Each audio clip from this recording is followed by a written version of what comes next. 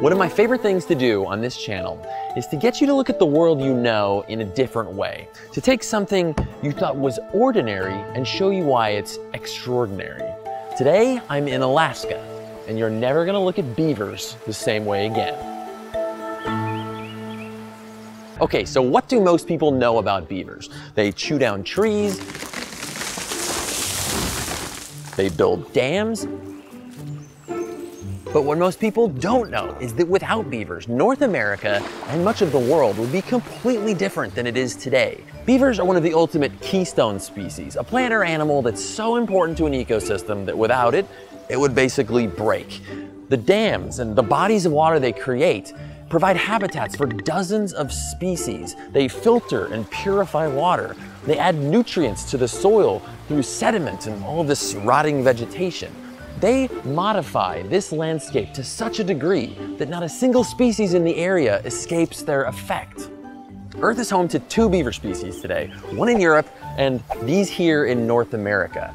They're rodents, the second biggest rodents on Earth. And like most rodents, they have big front teeth that never stop growing.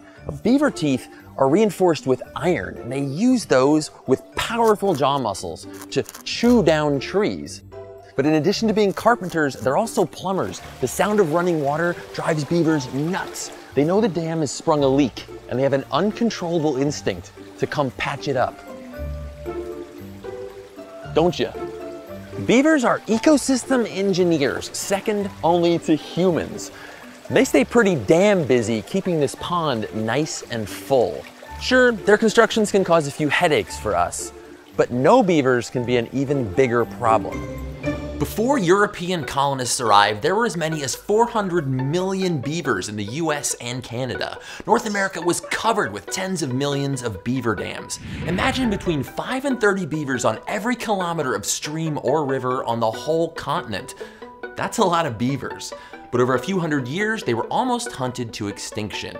Beavers were big business. They were trapped for fur, mostly to make hats, but also for sacks on their butts full of castoreum, a pungent substance used in perfumes.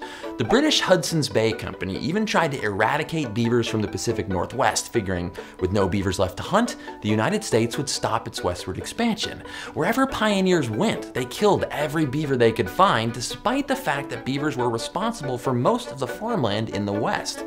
Populations dwindled from millions to the low thousands. Without beaver dams, huge areas of land are left with less water. Hundreds of species are left without a habitat.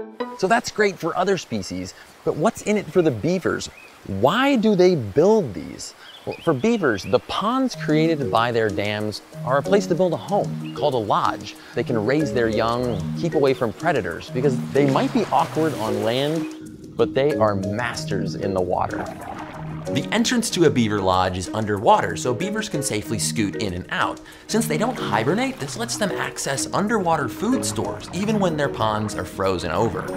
Beavers' favorite foods are the leaves and soft outer bark of trees, but like most mammals, they don't digest wood very well, so they eat their excrement to get the most out of a meal, until it eventually comes out looking like sawdust. A crew of beavers spotted in a pond is usually a family, Beaver couples often mate for life, and beaver kits live with their parents for a couple years while they practice their engineering skills. The oldest dams ever discovered are 100,000 years old, telling us beavers have been altering our landscape since before we moved in.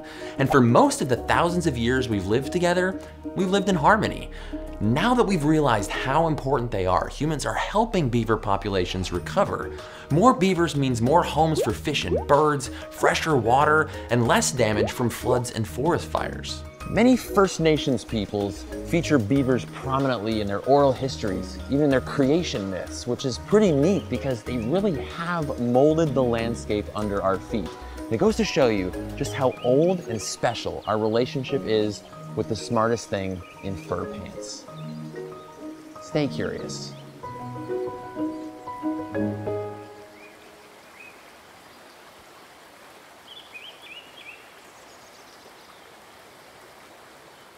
Beavers are big as rodents go today, but did you know during the Pleistocene, Earth was home to a beaver called Castoroides the size of a black bear?